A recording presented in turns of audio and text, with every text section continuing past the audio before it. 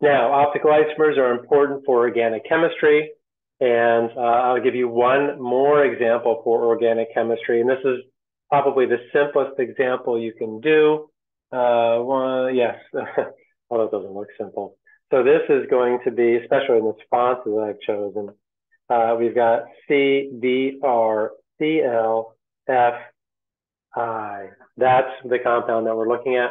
And the simplest way to make anything chiral, which will mean it has optical isomers, is going to be to take a carbon and attach four different things to it.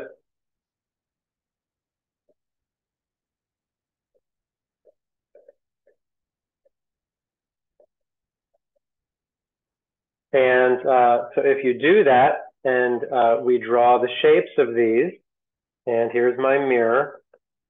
So I'm going to put carbon in the middle. I'm going to draw uh, my favorite way, of drawing tetrahedral.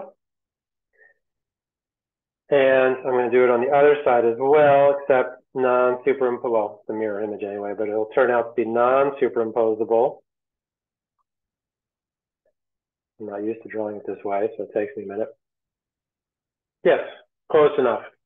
Now what you put is, you put uh, I, I, CL, CL, CR, CR.